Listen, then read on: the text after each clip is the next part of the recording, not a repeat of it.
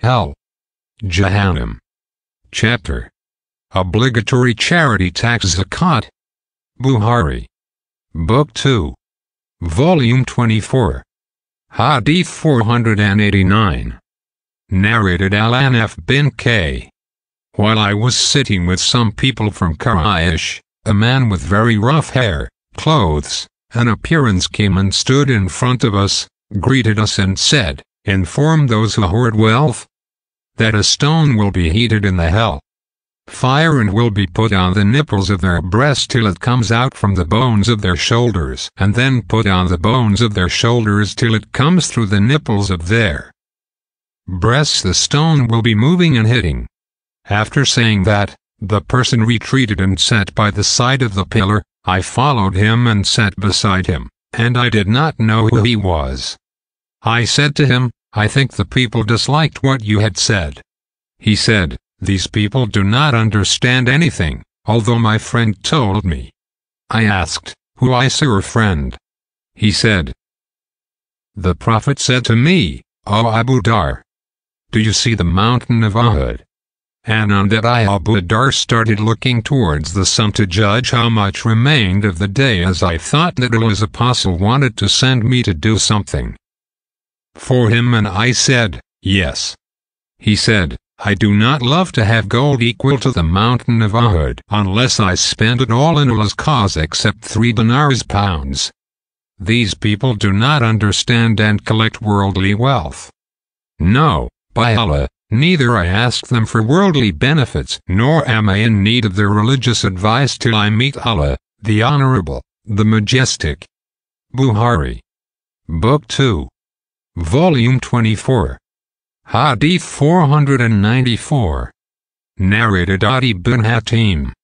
While I was sitting with Allah's apostle peace be upon him two person came to him. One of them complained about his poverty and the other complained about the prevalence of robberies. Allah's apostle said, As regards stealing and robberies, there will shortly come a time when a caravan will go to Mecca from Medina without any guard. And regarding poverty, the hour day of judgment will not be established till one of you wanders about with his object of charity and will not find anybody to accept it and no doubt each one of you will stand in front of Allah and there will be neither a curtain nor an interpreter between him and Allah, and Allah will ask him, Did not I give you wealth? He will reply in the affirmative. Allah will further ask, Didn't I send a messenger to you? And again that person will reply in the affirmative then he will look to his right and he will see nothing but hell. Fire. And then he will look to his left and will see nothing but hellfire. And so, any each one of you should save himself from the fire even by giving half of a date fruit in charity. And if you do not find a half date fruit, then you can do it through saying a good pleasant word to your brethren. See Hadith No. 793 Volume 4. Bukhari. Book 2. Volume 24. Hadith 498. Narrated Adi bin Hatim heard the Prophet saying, Save yourself from hellfire even by giving half a day. Fruit and charity. Bukhari. Book 2. Volume 24. Hadith 499. Narrated Aisha. A lady along with her two daughters came to me asking for some alms, but she found nothing with me except one date which I gave to her and she divided it between her two daughters. And did not eat anything. Herself, and then she got up and went away. Then the Prophet came in and I informed him about this story. He said, Whoever is put to trial by these daughters and he treats them generously with benevolence then these daughters will act as a shield for him from hellfire. See Hadith No. 24, Volume 8. Bukhari. Book 2. Volume 24. Hadith 541. Narrated Abu Said al-Khudri. On Eid al-Fitr or Eid al-Adha as apostle peace be upon him, went out to the Musalla. After finishing the prayer, he delivered the sermon and ordered the people to give alms. He said, O people, give alms. Then he went towards the women and said, O women, give alms, for I have seen that the majority of the dwellers of hellfire were you women. The women asked, O Allah's apostle, what is the reason for it? He replied, O women, you curse frequently, and are ungrateful to your husbands. I have not seen anyone more deficient in intelligence and religion than you. O women, some of you can lead a cautious wise man astray. Then he left. And when he reached his house, Zainab, the wife of Ibn Masud, came and asked permission to enter. It was said, O Allah's apostle. It is Zainab. He asked, which Zainab? The reply was that she was the wife of Ibn Masud. He said, Yes, allow her to enter. And she was admitted.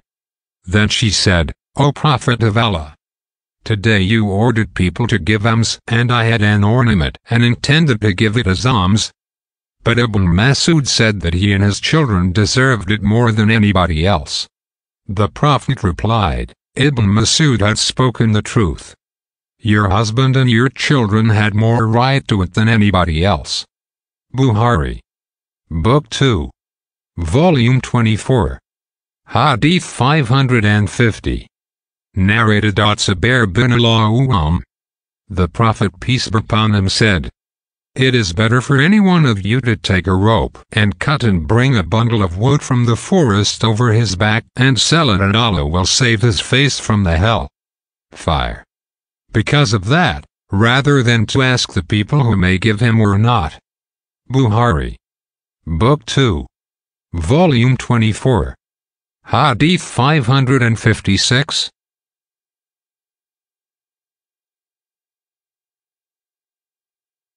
Narrated Sad bin Abi Waqqas. Allah's apostle distributed something from the resources of zakat amongst a group of people while I was sitting amongst them, but he left a man whom I considered the best of the lot. So, I went up to Allah's apostle and asked him secretly, Why have you left that person? By Allah. I consider him a believer. The Prophet said, or merely a Muslim who surrendered to Allah. I remained quiet for a while but could not help repeating my question because of what I knew about him. I said, O Allah's apostle, why have you left that person? By Allah. I consider him a believer. The Prophet said, or merely a Muslim. I remained quiet for a while but could not help repeating my question because of what I knew about him. I said, O Allah's apostle, why have you left that person? By Allah. I consider him a believer. The Prophet said, or merely a Muslim. Then Allah's apostle peace be upon him said, I give to a person while another is dearer to me. For fear that he may be thrown in the hell. Fire on his face by renegating from Islam.